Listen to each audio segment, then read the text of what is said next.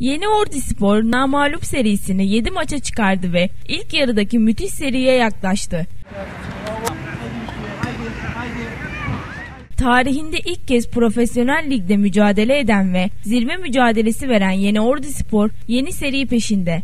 Mor beyaz siyahlı ordu temsilcisi rakipleri karşısında 7 maçtır mağlup olmazken zirve yolunda emin adımlarla devam ediyor.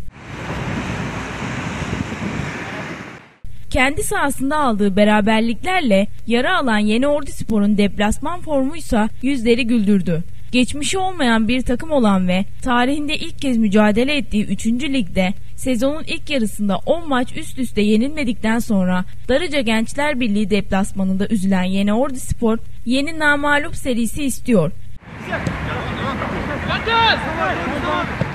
Kırkan Spor deplasmanından galibiyetle dönerek namalup serisini 7 maça çıkaran Yeni Ordu Spor önümüzdeki maçlarda bu seriyi uzatmak istiyor.